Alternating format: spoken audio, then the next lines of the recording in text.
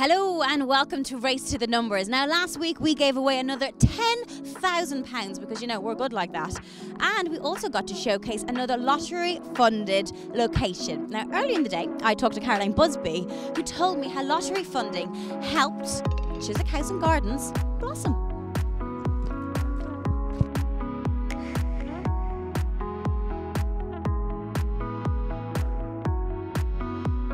Hey, so I'm here at the gorgeous Chiswick House and Gardens with Caroline Busby. Tell me a little bit about what you do here, Caroline. Um, my role is as director of Chiswick House and Gardens Trust, and we look after the house and the gardens.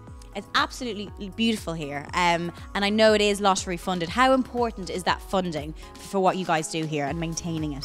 Without the uh, lottery funding, the gardens wouldn't look as magnificent as they do today.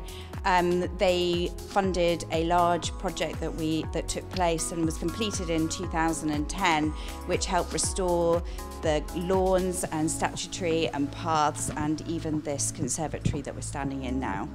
As you think, my first time here, and I will definitely be back. Thank you very much for showing me around. Thank you, Caroline.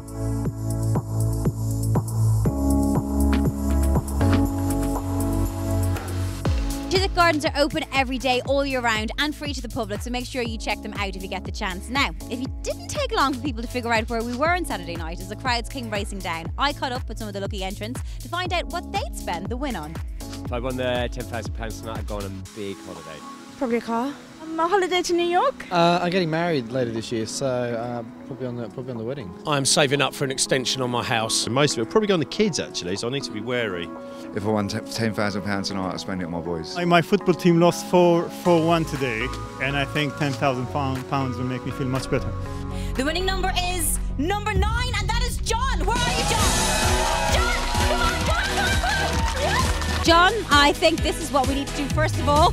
That is your check of £10,000. What were you doing before you came down here? I was just watching TV at home with my mate and my boyfriend. Well, again, massive congratulations to all of you. Well worth coming down here, and everyone else for coming down here. Congratulations to John. This is the Race to the Numbers.